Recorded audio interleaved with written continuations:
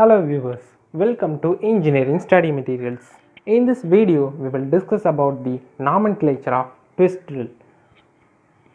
Before going this video, if you like this video, put a thumbs up and subscribe this channel for more videos and also like and share this video to your friends to gain knowledge.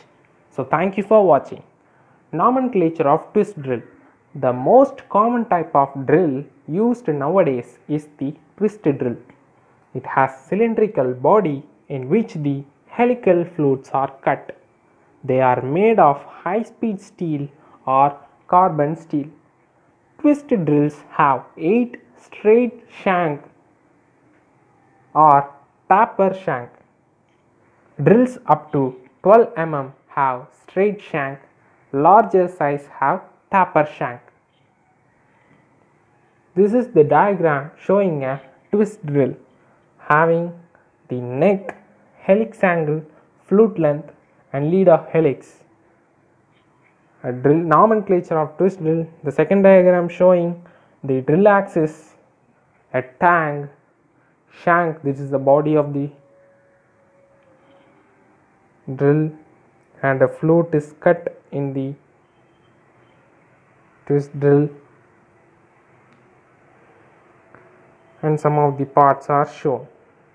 Land chisel edge chisel edge angle and a flank lip face point angle point chisel edge corner and rake angle. Parts of the twist drill. Body tang lip or cutting edge shank point flutes chisel edge or dead center land and neck. Body it is the main part of a drill. It has spiral flutes cut on it. Shank it is the part that fits into the machine spindle or any other holding devices. The shank may be tapered or straight. Tang it is the flattened end of the shank. The drill bit gets the drive from the spindle through the tang. Point. Point is the conical end of the drill. It is shaped to produce lip face flank chisel edge or dead center. Lip. Lip actually cuts the material.